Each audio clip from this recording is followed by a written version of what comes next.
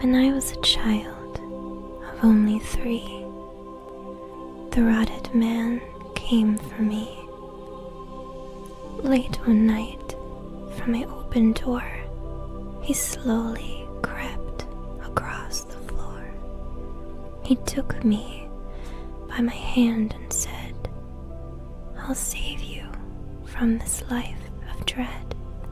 His coat was quite long and his eyes were quite red. His face was so pale I could swear he was dead. We left the house in the early morn and took his carriage of blackened thorn.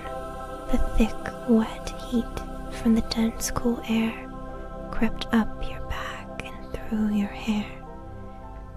He took me to his house of bones. Upon his door hung a head. His hall was bathed in blood red tile. He smiled, and through his rotted lips he promised me the world would pay, and told me that I could stay. I licked at my lips, I do love the fright. Then the rotted man did the strangest thing. He sat down with me and began to sing. A nice soft tune that filled my head with puppy dogs and fresh baked bread, the feel of warmth.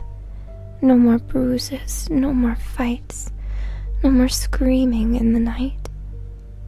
The rotted man had saved our lives. We were saved by a man of rot.